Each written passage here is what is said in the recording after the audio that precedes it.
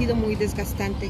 Yo hoy antes de entrar a, esta última audiencia mm, decía que, y lo reafirmo ahora, que hasta aquí se termina todo. Hasta aquí se termina porque ha sido muy desgastante en todos los aspectos. Ahora creo que temo más por mi seguridad y por la de mi familia, puesto que al estar en este tipo de hechos, pues se, se, se, dan a conocer todo tipo de nombres, direcciones y datos de nosotros. Entonces yo quisiera saber qué va a hacer la Fiscalía ante esta, este mediocre trabajo que hicieron, porque se confiaron, porque tuvieron, porque les aportamos y ellos tomaron lo que les convino, se creyeron seguros de que lo que tenían era suficiente y pues bueno, vemos, sin embargo, hasta mayo del 2021 se detienen y se vinculan a estas dos personas a proceso, donde la Fiscalía siempre me aseguró que ellos eran los culpables y los asesinos de mi hermano. Eh, cómplice y, y quien disparó.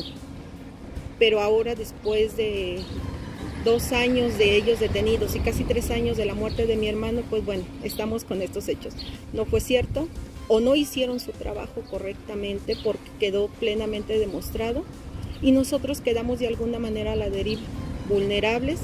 Creí, pensé que podía confiar en que teníamos una justicia imparcial, que existía un verdadero trabajo de parte de la Fiscalía, pero me doy cuenta que no lo hay. Alguien me dijera de qué manera o qué respuesta me van a dar a mí como ofendida, donde lo único que yo buscaba era justicia ante unos culpables que ustedes me aseguraron que eran y ahora me dicen simplemente no pónganse a trabajar de verdad, de verdad demuéstrenme que hay justicia, porque yo hasta este momento no lo veo, tristemente no lo veo. La sociedad nos hemos vuelto indolente, nos hemos vuelto inclusive, nos hemos acostumbrado a esta inseguridad, a vivir esta violencia, pero yo de verdad los invito, creo que necesitas vivirlo para saber lo que es esto.